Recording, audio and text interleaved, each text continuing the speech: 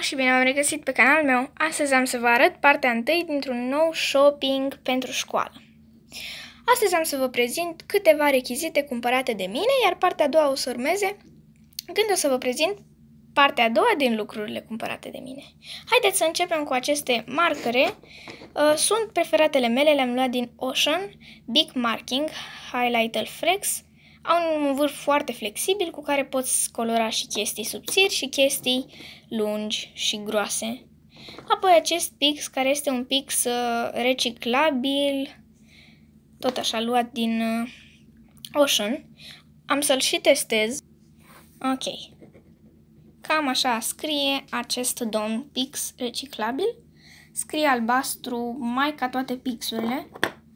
Haideți să continuăm cu uh, acest marker pentru că le voi testa și pe acestea ca să vedeți și voi cât de bine scriu. Acesta este modul lor de a scrie gros și ăsta de a scrie subțire. Foarte interesant. Voi testa toate culorile ca să vă dați și voi seama despre ce este vorba aici. Gălbiorul, care este pe cameră se vede un pic verzui, așa mi se pare. Un galben super, super strident. Și verzuiului, care este un verde deschis. Nu mi se pare prea închis. Vedeți? Super tare scrie. Ok, hai să mergem să-i facem un unboxing acestui uh, set de carnețele. Sunt două. Ăsta e cu pisici, bineînțeles, de ce nu? Și cam așa arată. Îi voi face și un unboxing apropo și va fi foarte distractiv, stați. Că de fiecare dată știți că eu am tendința aia cu ambalajele grele să le deschid eu tot timpul. Aha, am prins. Gata. Eu. Pixul nu vrea să stea la mine pe birou, mă mir. Ok, primul carnețel, cam așa arată. Dictando. Și al doilea, ăsta cu pisicuță. Matematică. Cred că le pot folosi pentru, eu uitați, și ăsta, care e simplu. Dictando și ăsta cu siguranță de matematică, presimt eu așa, da. Și le putem folosi pentru vocabulare dacă nu avem ce face altceva cu ele. Ok. Acum voi încerca, voi încerca, auzi, vă voi prezenta acest cai de biologie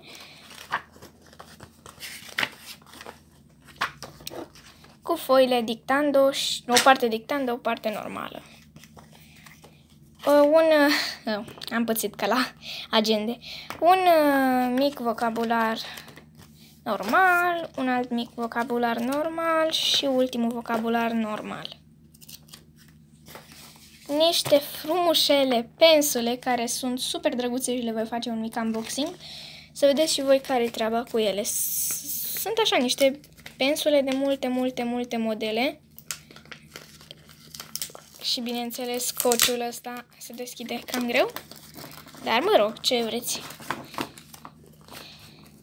Deci am să vă scot o singură pensulă ca să vă arăt cum este. E un pic cam uh, tare, adică când o apăși și tare, însă la formă, așa într-o parte oblică, e super tare. Și ea cam așa arată, e făcută din lemn partea asta.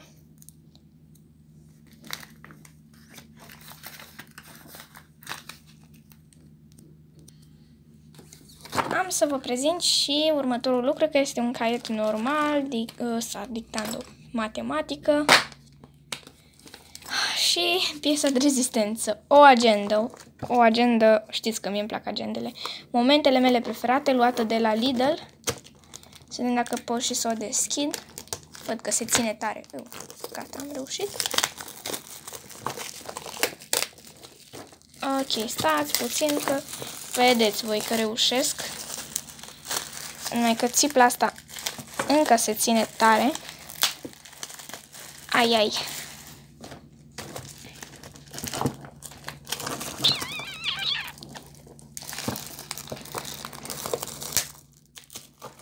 Aha, gata, am reușit. Și agenda noastră este chiar aici.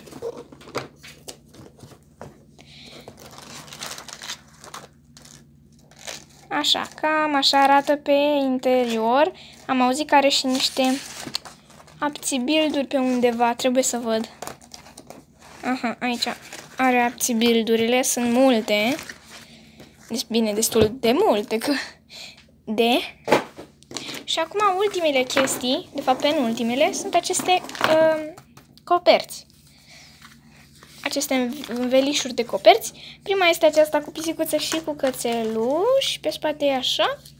A doua cu niște emojiuri super drăgălașe, a treia cu Minnie Mouse, a patra cu Fly Butterfly, a cincea cu Mickey Mouse, a șasea cu Hello Kitty și cele mari, asta, Owl, cu multe, multe uh, ve uh, veverițe, bufnițe și asta.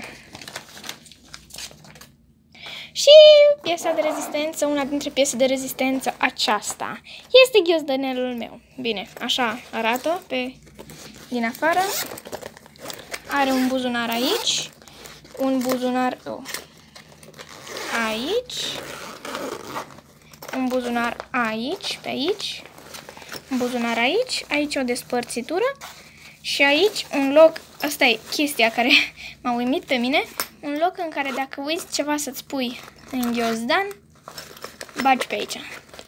Și de asemenea să scoți banda reflectorizantă care este aici.